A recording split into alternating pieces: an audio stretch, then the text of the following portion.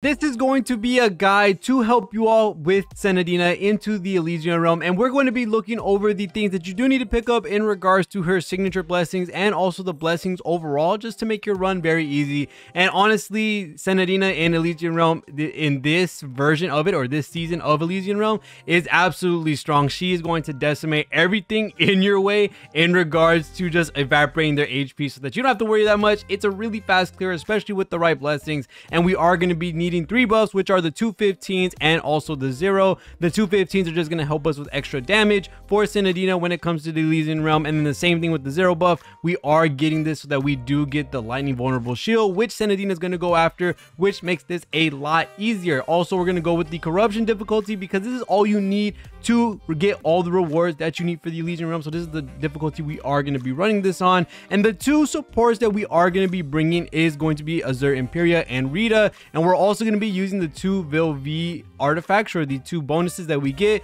which is the Pseudo Miracle and also the Falling in Past Light. This is going to make it so that the active skills that we're going to be using multiple times with Senadina and her combo are going to charge up that big, big explosion that you get. And also because the buffs that Vill-V gives to Senadina are absolutely monumental when it comes to the damage boost we're going to be getting. And when it comes to the signature blessing that you're going to want for Senadina, we are going to want to get the initial drawing, which is going to be the first blessing you do definitely want to pick up once you get this first set of blessings that Elysia gives you because this will clear your overheat drive and make it so that it's non-existent. So you always have your damage coming out no matter what. You don't have to wait for the bar to come back. For to do your combo you can just do your ultimate evasion which is for Senadina just doing your dash into an attack which you'll see multiple times in the gameplay. And this erases the bar from at the bottom allowing you to do your combo and allowing you to do a lot more damage a lot more sooner. So you definitely want to pick up this initial drawing on your first blessing that you get making it a lot easier to do all the damage that you possibly need.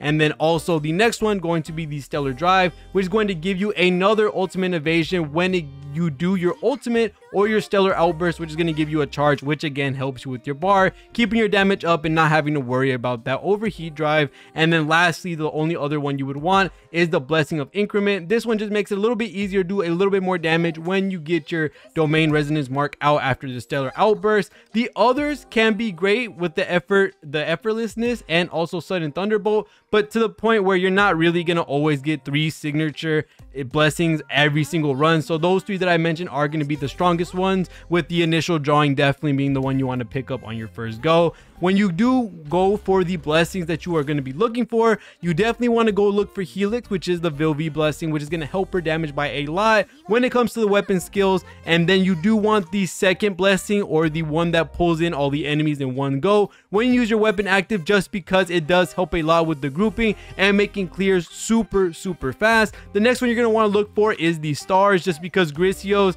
blessings work very well with how Senadina plays going into the ultimate evasion, the ultimate ultimate and also the weapon active making it all synergize very well and you do want the second blessing again which gives blending which opens the assortment of different buffs that you get from combining all of these which you are going to be doing a lot at a time and then the last one which you can go for as well as they go on is going to be Setsuna because again as we have the ultimate evasion charges we are going to be playing around them a lot. And if you do get enough to build out the Setsuna core then you are going to go for the first blessing or the one that basically copies the damage you do and then give you elemental breach which is going to help you do a lot more damage. Other blessings that you can go for are going to be vicissitude which is Fuhua's blessing Bodhi which is Su's blessing because she does hit quite a bit in her combos and also deliverance because why not get the ultimate buff? The other ones aren't really wanted but if there are some blessings that can help with like Mobius and other resources as well that come from those blessings so for the most part these are the ones you are going to be looking for I will be showcasing off the run so that you can watch it in full and basically have fun with that in learning how we to play with Senadina, especially in the Elysian realm with the blessings I gave you and also the exclusive ones that you want to look out for.